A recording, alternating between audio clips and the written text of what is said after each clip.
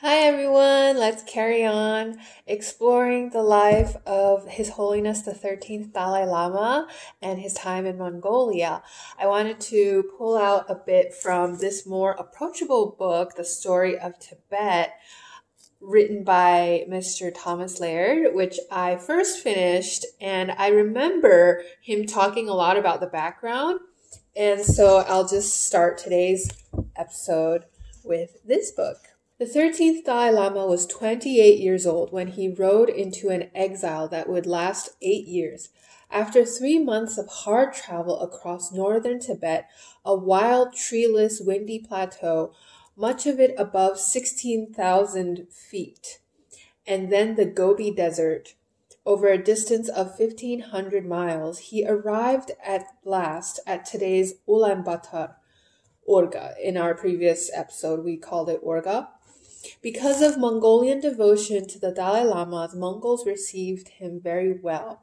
His relationship with monks and monasteries was excellent, the Dalai Lama 14th said. At this time in Mongolia, there was a tradition of the monks approaching a scholar and requesting a debating session with you. So he accepted such requests, and they would debate with him. Because of this, he spent a lot of time fiercely studying the scriptures. Since he had to debate, he had to study. He debated and won many times, often against many high placed scholars. Later on, he spent time explaining Buddhist texts, not in the form of a public teaching, but very seriously explaining the philosophical text to a few monks. In fact, in Mongolia, he acted like a teacher, not like the Dalai Lama. When in Lhasa, the Dalai Lama gave public teachings, but otherwise he did not act like an ordinary teacher. So while the 13th Dalai Lama was in Mongolia, he carried out Dharma both informally and formally.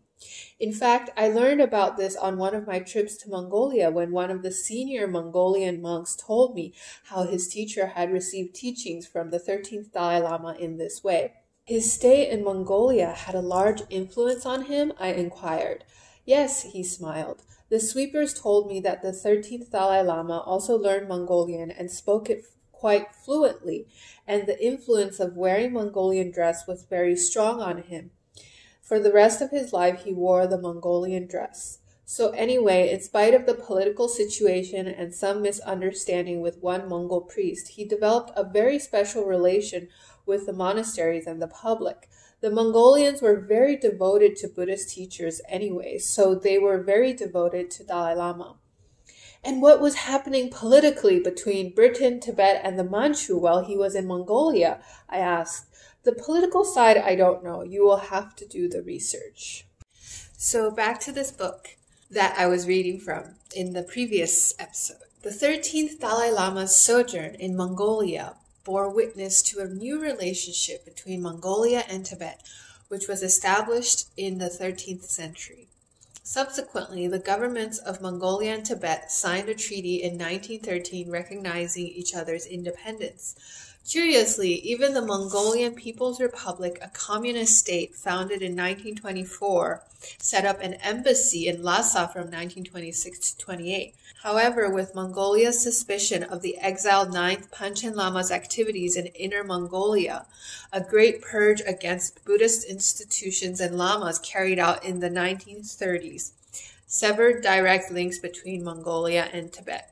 And the same author wrote a chapter called Lamas to the Rescue Tibeto Mongolian Buddhism and Imperial Nationalism in Collaborative Nationalism, the politics of friendship on China's Mongolian frontier for those who are interested.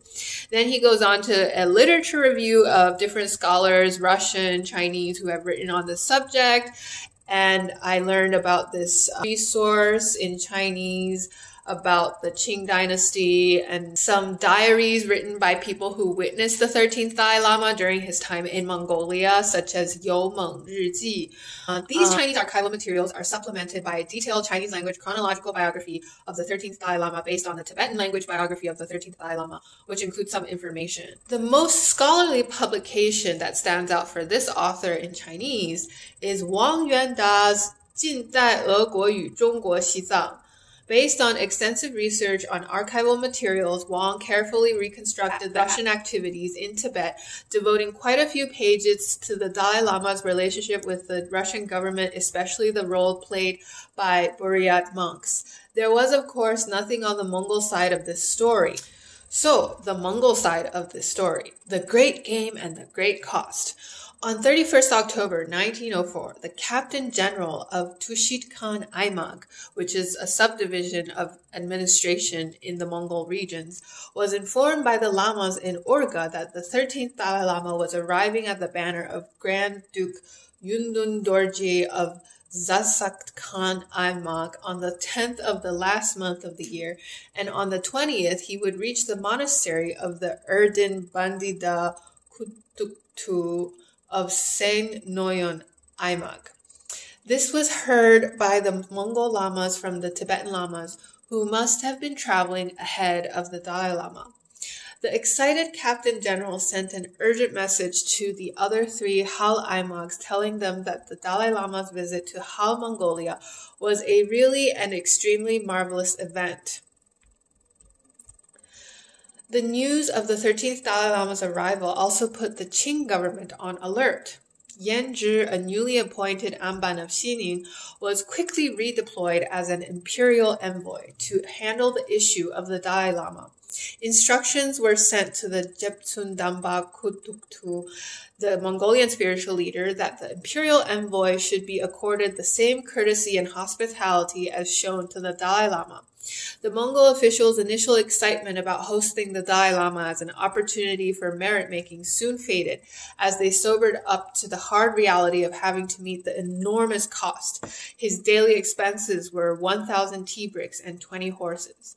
In a document written in late January 1905, Tushit Khan Aimag complained that although Zasakt Khan Aimag and Sain Noyon Aimag originally agreed to collectively contribute to the cost, they did not deliver anything.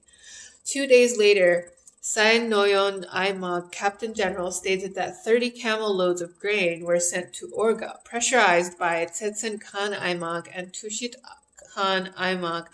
Zasakt Khan Aimag responded by proposing to approach the Oryanghai and Durbet regions of western Mongolia, appealing to their religious sensibility. Moral pressure was also exerted by the Manchu general in chief of Uliastai, who urged the Mongol princes to abide by the master disciple rule and pay up. Zasakt Khan Aimag soon relented, delivering a small amount of a thousand taels of silver, claiming difficulty due to natural disasters. The single most important job for the Qing government in the two year period was to remove the Dalai Lama from Mongolia in order to squash any potential Tibetan alliance with Russia and with the Mongols. For his part, the Dalai Lama's journey in hope of obtaining the Russian support for his struggle with the British could not have come at a worse time as his arrival at Urga concluded with the most difficult crisis Russia was encountering both internationally and domestically. Internationally, it fought a costly war with Japan, suffering a major defeat in the Battle of Mukden in Manchuria in 1905, losing 90,000 soldiers. Domestically, worsening economic and political problems in Russia led to popular unrest, and the Russian defeat in the hands of the Japanese triggered a major revolution in early 1905. Russia was forced to a peace agreement on September after on 5th September 1905 after the Russian Navy was defeated by the Japanese at the Battle of Tsushima. Despite this debacle, Russia did not want to disappoint the Dalai Lama, but tried to keep him favorably disposed toward Russia while not rendering him any support. Throughout the spring and summer of 1905, the Dalai Lama had to juggle several balls, dealing with the great devotional worship of the Mongols and Buryats who rushed to Urga to get his blessing, and with the pressure put on him by the Qing government for an early departure while waiting anxiously for a favorable Russian response. The Qing, for its part, was careful not to be too heavy handed with the Dalai Lama for fear of pushing him towards Russia or alienating alienating the Mongols.